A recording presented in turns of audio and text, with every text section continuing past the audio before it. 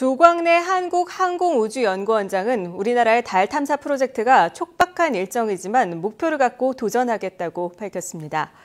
조광래 원장은 YTN 사이언스에 출연해 2020년 달 탐사라는 명확한 목표를 설정하고 도전을 하면 반드시 성공할 수 있다고 말했습니다.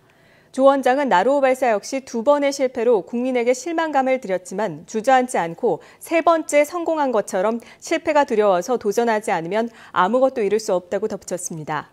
조 원장은 또 달 궤도선 착륙선을 싣고 우주로 갈 한국형 발사체 개발 사업은 지난 7월에 1단계 사업을 마무리했으며 현재는 한국형 발사체의 추진력 핵심인 75톤 엔진 개발에 중점을 두고 2단계 사업을 진행하고 있다고 설명했습니다.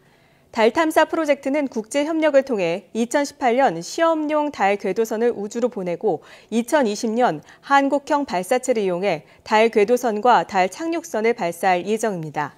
그럼 조광래 한국항공우주연구원장의 말 직접 들어보시겠습니다.